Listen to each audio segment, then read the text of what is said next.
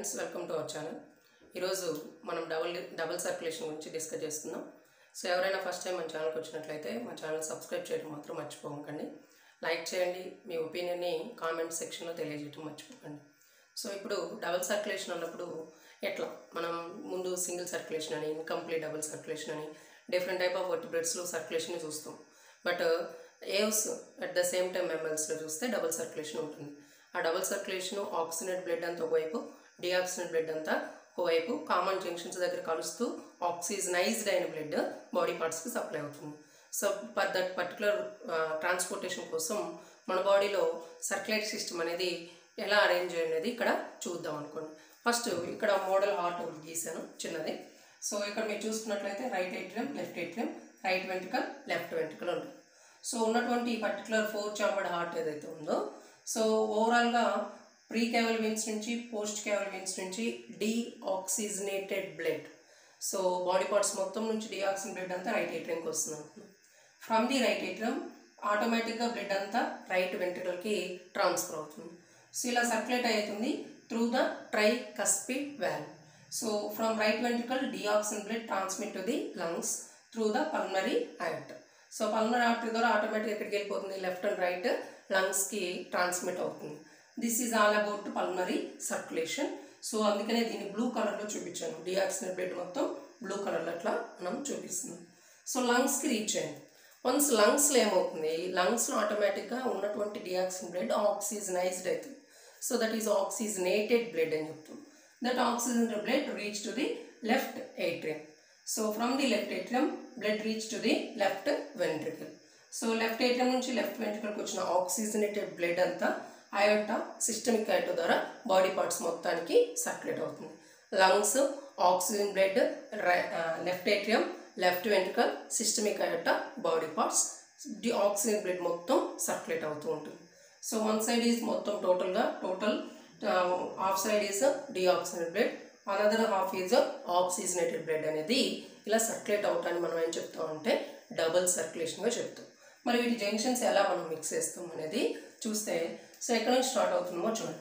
Superior vena cava inferior vena cava? Superior inferior pre caval veins post caval veins నుంచి deoxygen blood మొత్తం. అందుకనే blue కలర్లో dross డిఆక్సిన్ blood అంతా కూడా ఎక్కడికి రీచ్ అవుతుంది? రైట్ ఏట్రియంకి రీచ్ అవుతుంది. From the right atrium with the help of tricuspid valve it enters into the right ventricle so from the right ventricle through the pulmonary valve pulmonary artery ఏదైతుందో మామూలుగా pulmonary వ్యాల్ ఏదైతుందో so pulmonary circulation ద్వారా ఎక్కడికి వెళ్తుంది? లంగ్స్కి వెళ్తుంది. So here లంగ్స్లో ఆటోమేటిక్గా blood అంతా oxygenated అయింది. లంగ్స్లో ఉన్నటువంటి మొత్తం oxygen blood through the pulmonary veins pulmonary veins ఏవైతే ఇవి. సో ఈ పల్మరీ వీన్స్ ద్వారా లెఫ్ట్ ఏట్రియం లెఫ్ట్ ఏట్రియంకి బ్లడ్ రీచ్ అవుతుంది. So from the left atrium blood transfer to the left ventricle through the bicuspid valve from the left ventricle blood transmit to the aorta so ఇది left ventricle కదా ఇక్కడ నుంచి aorta that means systemic aorta ఉంటుంది so systemic అయోటాలకి oxygen blood అంతా మనకి body లోపలికి transmit అవడానికి అయోట యూస్ అవుతుంది. సో సిస్టమిక్ అయోట నుంచి ఆటోమేటిక్గా బ్లడ్ అనేది ఎలా ట్రాన్స్మిట్ అవుతుంది? ఇక్కడ చిన్న డయాగ్రమాటిక్గా చూడండి suppose this is systemic aorta so this systemic aorta divide into number of arteries so minor arteries అని these arteries will divide into arterioles so arterioles will divide into number of capillaries so చిన్న చిన్న minute క్యాపిలరీస్గా divide అవటం అనేది జరుగుతుంది. So ఇక్కడ iota ఉంది arterioles ఉంది.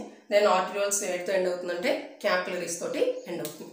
Capillaries is the junction ఏదైతే ఉందో ఆర్టరీస్కి వెయిన్స్కి మధ్యన జంక్షన్లో పనిచేసే క్యాపిలరీస్ ఉంది సో క్యాపిలరీస్ తర్వాత అంటే క్యాపిలరీస్కి వచ్చేసరికి టిష్యూస్ ఆక్సిజన్ తీసుకొని డిఆక్సిజన్ అంటే ఆక్సిజన్ని మ్యాక్సిమం అబ్జర్వ్ చేసుకొని ఉన్నటువంటి సిఓటుని రిలీజ్ చేయడం స్టార్ట్ చేస్తుంది. Now it is it becomes the blood ఏదైతే ఉందో deoxygen బ్లడ్గా convert that deoxygen blood will drawn from the capillaries then automatically through this vein so ఈ వేన్ ఏమవుతుందో venules veins inferior vena cava so inferior వీనాకేవకి superior వీనాకేవకి మొత్తం deoxygen blood వచ్చేసి అలా fill అవుతుంది అనమాట సో టిష్యూస్ దగ్గర వచ్చేసరికి సిఓటు ఎక్కువ ఉంటుంది లంగ్స్ దగ్గర ఆక్సిజన్ ఎక్కువ ఉంటుందని మనం రెస్పిరేటరీ సిస్టంలో చదువుకున్నాం సో టిష్యూస్లో ఉన్నటువంటి సిఓ టూ అనేది ఆక్సిజనైజ్ బ్లడ్ ద్వారా రీప్లేస్ అయ్యి సిఓ టూ ఆటోమేటిక్ లంగ్స్కి రీచ్ ఎక్స్ప్రెషన్ ద్వారా బయటకు వెళ్ళిపోతుంది. So one side is pulmonary circulation another one is మనం చూసుకుంటే సిస్టమిక్ సర్క్యులేషన్ అనుకోవచ్చు పల్మరీ సర్క్యులేషన్ ఈజ్ లెస్సర్ సర్క్యులేషన్గా చెప్తాం. సో దాన్ని ఎలా చెప్తామో చూడండి. లెస్సర్ సర్క్యులేషన్ లెస్సర్ సర్క్యులేషన్ అంటే కొంచెం తక్కువ ఉంటుంది.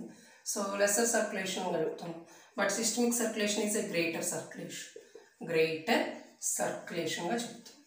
So this type of blood circulation way is called as double circulation which is present in the birds and mammals.